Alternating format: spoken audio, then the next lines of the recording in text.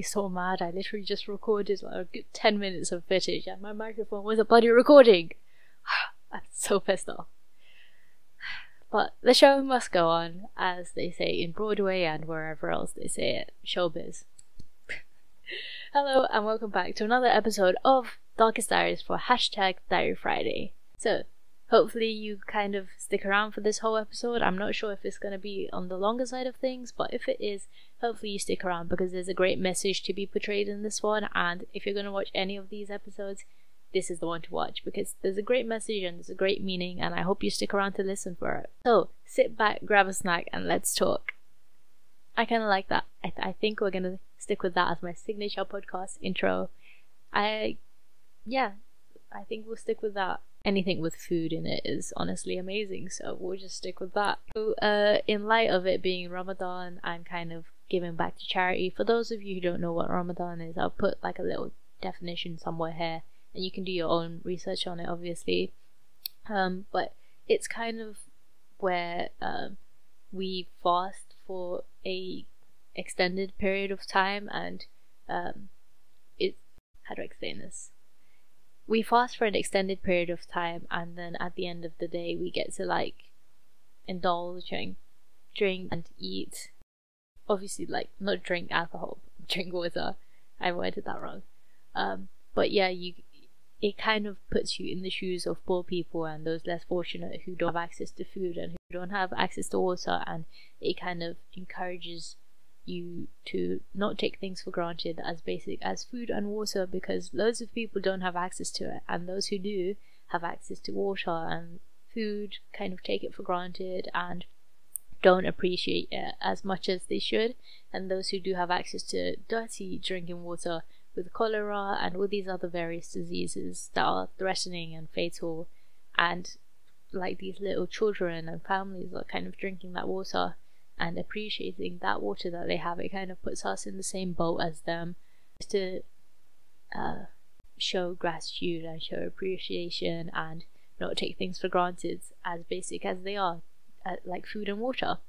So in light of ramadan happening and in light of like being uh, in light of having this kind of heightened awareness of giving back to the local and greater community, this episode is kind of going to be revolving around charities and giving back to the community and kind of things you can do and things we've done personally. Before I get this episode started, I just want to say this is in no way any means of bragging of the money or anything we've donated because that's just stupid. This is merely an episode just to uh, show how much you can give back and kind of highlight the causes. And honestly, it's quite the opposite of bragging. It's to encourage you guys to give money and give back to your local greater community because, you know, that as much as the world is kind of tops turned right now, the local communities just as well as the greater communities do need these donations and do need the, these kind of um, support from others, whether it just be uh, kind of verbal support, you know? Everyone needs someone to talk to. And it just goes to show that you don't need to give like something physical as a donation. It can be anything. And, you know, th- even if you don't have means to donate, I know we've been in the same boat like a few times uh, a few years ago where we wanted to donate. We couldn't afford the funds at that moment. And it's really like, it's really, uh, puts more restraint on yourself, I guess you could say, because you want to give back, but you can't. And I know loads of people are in the same boat right now, especially with Corona kind of cutting everyone's wages off and stuff like that. So even if you can't give back at the moment, and if you can't uh, make donations or give anything physical to a charity, you can always just pay the attention and time that these charities and causes need, and kind of spread awareness and spread word through social media, and that doesn't cost that doesn't cost you anything. So there's always that. So personally, um, myself and my family have donated to various charities throughout this month just to kind of, you know, like just to give back properly and yeah, just share the various things we've done. Um, again, this is no nothing to brag about. I just want to show you guys what kind of charities are out there because before donating to any of these, I didn't know like half of these charities. So that's just another food for thought, I guess you could say. The more the more you get into these charities, you're opened up to, and the more kind of crisis, crises, crises, something like that. I don't know the word. You're exposed to, and you see what other people are going through. So one of the charities we've donated to is uh, five pounds a month to a charity in, in installments, and it helps build a freshwater tanker in a school in Palis- school in Palestine. And you know, as much as we take the school fountains for granted, um, complaining that the water is warm and it's it's disgusting, it's fresh water at the end of the day, and it's clean drinking water, not laced with diseases and uh, potential potentially fatal uh, potentially fatal bacteria that could kill us in one gulp. It's paid in £5 a month installments that helps build a freshwater tanker that can be accessed by school kids, which is a lovely cause. Which is a lovely cause. Also, by the way, I will be leaving all of the um, charities and the places we've donated to in the description below, so you too can also donate to these charities or even just you know share their pages um, to show awareness, and that doesn't cost you anything, and it just takes literally two seconds to copy and paste the link. Um, another charity we donated to is um, sorry, I'm not going to say the names of these charities because I don't know them off the top of my head. I just know the the causes we've donated to. So um, another thing we've done is we've planted two olive trees. Like we've paid to plant two olive trees um, for a family in Palestine. Provides food and shelter for them. It provides food by like baking up fruits, the fruits from the olive tree. Apparently, it supplies some kind of fruits like uh, berries and stuff like that, or something like that. And they also get shelter from the hot heat, especially during summertime. They get shelter, and there's two of them, so they can like create like a tent or like a hammock of some sort, which is really good. But yeah, um, that was I think it was twenty pounds for two olive trees or twenty five pounds. But yeah, even yeah, I I understand like twenty pounds is a lot of money. It definitely was to us a few years ago. You know, we did come from a wealthy family, and just being able to give so many donations, it really does lift the weight off your off your shoulders, and it makes you feel good knowing that you can donate or at least help to spread awareness if you can't give any money.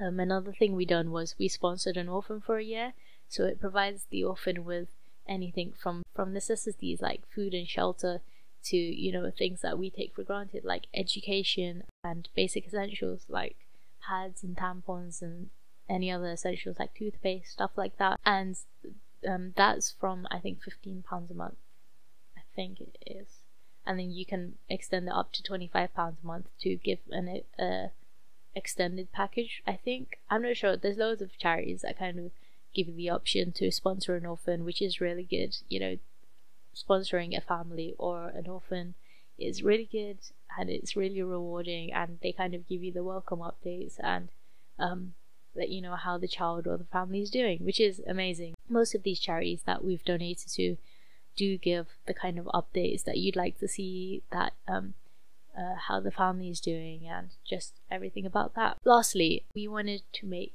a long term development aside from the water tanker in the school. We wanted to make, you know, a more permanent solution for a whole community rather than just the school. And we are paying to have a water well built in a in a country that is most in need at that time.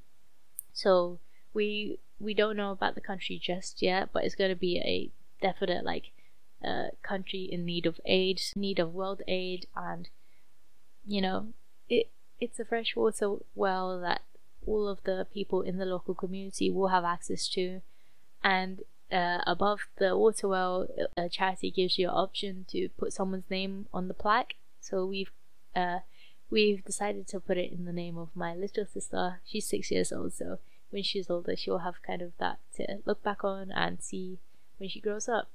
Because they do give you pictures and updates of your water well once it's built and yeah, um, that's I'm not sure how much that is. We're paying in install. Um, all of these charities um, offer you to pay in installments with no interest or hidden fees or anything like that because it is a charity. So um, I'll leave all the links below because I'm not too sure about the actual prices of it off the top of my head, but um, they're all great causes, and I really do hope you at least you know pay the time and attention to it and share it if you do um, go to look at it. And if you do want to make a donation there's it's really easy. You just type in your details and then make a donation. But yeah um donations can even start from as little as two pounds a month to create a fresh under a freshwater um underground pipe in a local community um in a developing country in need of aid. So two pounds a month literally that's that's you know bottom of the pocket change to some people. And especially when we're spending on you know various other stupid materialistic things when we could just be helping each other out you know everyone's a human every little helps. And two pounds a month that's only 24 pounds a year that's less than someone spends that's less than someone could spend could not should could spend on a meal in you know central london i'm not throwing shade to anyone no one at all but um, yeah they literally start from as little as two pounds a month to make a change and make a difference. And I think some installments can start from one pound a month. It just kind of lengthens the time of lengthens the time of when the actual pipe will be built. So yeah, definitely give it a browse over and just kind of see what you can do for your local or greater community and just kind of heighten your awareness of heighten your awareness of the causes and crises these countries are in at the moment. Now, to do my own part in kind of this whole charity giving thing, I've had the idea to do this for about a year now, or maybe a year and a half. And for those of you who don't follow me on my Instagram account, you won't know what I'm talking about. But um, I'm not going to plug it. No, it's it'll be somewhere here or in the description if you do want to check them out. But I don't really care if you do or don't. Um, it's just Instagram. But um, this Instagram, however, I really would appreciate if you check it out. I've had the idea for a while now to set up a little kind of non-profit charity kind of uh, project of my own since I've you know taken a look around in my local community and seen the kind of local problems that I could deal with and I I could deal with and most people overlook, and that's homelessness. Now, although I can't provide, you know, a whole home, a whole, like, a whole home and a whole year's supply of food, I can do my part and offer little, you know, bits here and there, like, you know, ready meals for the day, or just giving someone a pair of socks or someone, you know, essentials, just general essentials like toothpaste and stuff like that. So I've had the idea that I wanted to create a kind of non-profit organization. I guess is organized a non-profit project at this stage, um, where I kind of create little care packages essentially that have various necessities like uh, uh, food, clothing, like clothing donations, um, food like ready meals and kind of tin cans, stuff like that, like shelf stable food that can be rationed out for however long the person so desires. So they can kind of decide how long they want to utilize the food over, whether it be a day or a few days. That kind of gives them the option. And I also kind of want to give like either the food like as ready meals or as cans, or I kind of want to give um like you can buy like the food like the grocery store gift cards, like Sainsbury gift cards as the gift cards. I feel like it would be good to like give them that as a whole donation instead of various other food cans and stuff like that, just for them to pick out their own food and see what they'd want. And also, you can't buy um, like drugs or anything from Asda's or from supermarkets because I know various people are afraid to give, um, like, not afraid, but do worry that if they give money to, say, some homeless people, you know, because a lot of homeless people do take the money and use it for the wrong reasons, whether it be alcohol or drugs, stuff like that. At least you know if you buy like a superstore gift card, they could only use it on so much in there. Although they do sell liquor and cigarettes, but um. Hey, um, editing me here. Around about this point, and after uh, the camera kind of cuts out, so it's just audio. So I guess you'll just have to listen to it in the background or something like a like a normal podcast I guess you could say. Um, but hopefully that doesn't compromise the message of this video because it really is a a good cause and a good message. And hopefully you just you know if you take anything away from this video if you click off after this i completely understand. But please do check out the charities i link below and yeah. Sorry cut out. I'm testing out a new camera and new ways of recording but um, hopefully you enjoyed it up to this point and if you do um, decide to cut out off the video then thank you so much for giving some of your time. Um, so it will just be audio from this point onwards. Enjoy.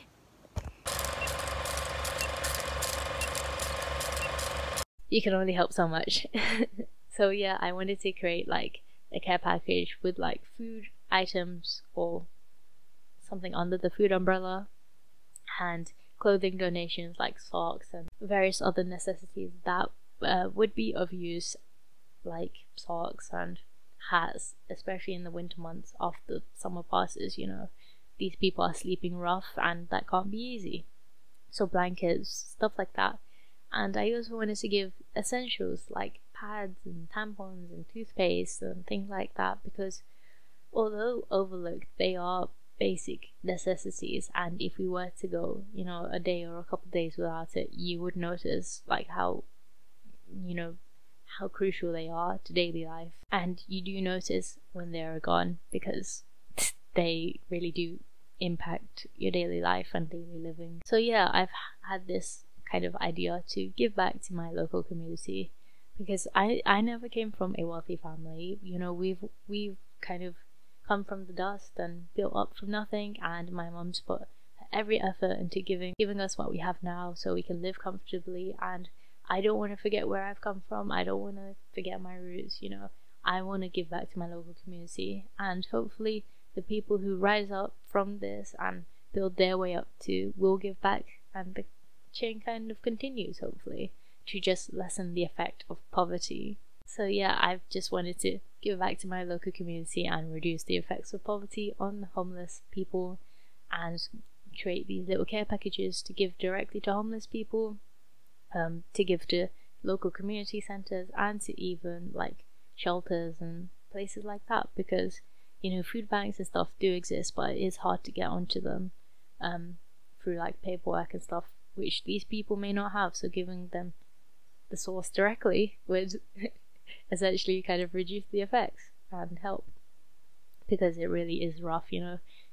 We never came from a wealthy family and we've experienced firsthand, you know, living pound to pound and it's it's terrible, you know, trying to get by with food and then trying to uh trying to you know, trying to get by with food and essentials and not being able to afford pads or tampons sometimes and kind of you know stretching out pads and tampons so it, it lasts you know a good few hours before you have to change it because you know girls you go you girls know whoever's watching or you people know. 2020 you people know whoever uses pads and tampons. They it's not pleasant when you have to use it for an uh, extended period of time period um but yeah, I kind of just want to make sure that no one else is in that position because it's a horrible position to be in, and I kind of want to help reduce the effects of poverty and help make just make the world a better place, one step at a time, one tampon at a time. You know, having experienced it, having experienced it firsthand, and not coming from a wealthy family and kind of building our way up from scratch, you know. Like I'm the first person from my family to be going to uni and I want to like build my way up like the rest of my family. They've all built their way up where we've come from and the roots we've come from, and we will give back to charity. And I kind of want to do the same. You know, I'm 18 now. I I don't have to rely on my parents to handle my charity money or like give on behalf of me. I kind of want to take matters into my own hands, which is why I've created my little non-profit project. So I announced to you my future plan to create my non-profit project organization thing, I guess you could say, Curbside, formerly known as Menstrual Health London. Curbside Blessings, providing essential care packages to local communities, homeless people, centres, shelters, whatever you want to call it. Just making the world a better place, one package at a time. Now, this is a plan for the future, not immediately right now. I did want to host it right now, like kind of create it, because surely the world does need it and the local community does need it in this particular time. But um, we can't really do that right now because we're in the middle of moving. So I figured as soon as I move and get myself set up there, that's when I'd want to start making these little care packages. And I have, you know, friends to help me out, help make this happen. And by the time that's all set up, we will have kind of like a donation site set up. And for full transparency, obviously, I will, you know, use YouTube and use social media to get the word out there and to show the money is going towards making the care packages because I do not want to be labeled a scammer, especially not in the charity industry, I guess you could say, because that is terrible. And whoever uses, whoever claims to have a charity and use the money for other purposes is filthy scum and stupid and idiot. Um, yeah, but you know, hence the name non-profits. All donations that come into it will be put back into the care packages to kind of create the packages to be given out, and we will be showing on camera and on Instagram or wherever we do decide to host this. Um, us giving out the packages and us putting it together because it is going to be like a social media thing, I guess you could say, to raise awareness. You know, we have social media platforms, we have these huge platforms of millions of people. I don't, obviously, you know, I've literally got 37 subscribers, um, but we do have the internet and access to millions of people um, who can get the word out there to the world about these local um, communities and things you can do for your local community. And this was inspired by the Sidemen video, uh, where they spent like a hundred thousand pounds in one hour or something like that, and Ethan and Vikk in there actually kind of you know started this up where they gave back to local homeless people through like care packages that they put together. So hence Curbside Blessings was born. but yeah, that's kind of where I'm at right now, kind of in the whole admin side behind the non-profit project thing. I'm trying to put it together before I move so it will be ready and we can all disperse the care packages and kind of get the word out there. But um all of the charities and everything I've mentioned will be linked below if there's any links for me to provide. Um I think there's three charities, something like that. But yeah, thank you so much for watching. I think I'm gonna wrap it up here. This has been a longer podcast, and when I do eventually kind of um, set up this whole non-profit project thing, I will be sure to let you guys know firsthand because I think I'll just be showing the behind the scenes on here for you guys to see because I feel like that would be a good kind of project for you guys to see and to get the word out there. But thank you so much for watching. Hopefully you take something away from this video and if you can't if you can donate, please do. The links are in the description and you can find various other Google links online for even your local communities. You know, there's local charities like pet shops um, that needs donations for like uh, rescuing animals that have gone astray and just various other local uh, communal charities if you don't want to support like greater causes, you can support your local community. So hopefully you take something away from this video. If you take anything away from this video, just remember to never stop giving. You know, just never stop. So yeah, I think the camera cut out, but if you are still listening, if you are still here, hopefully you've enjoyed this little podcast thing. Thank you so much for watching. Have a great day, evening, or night, and goodbye.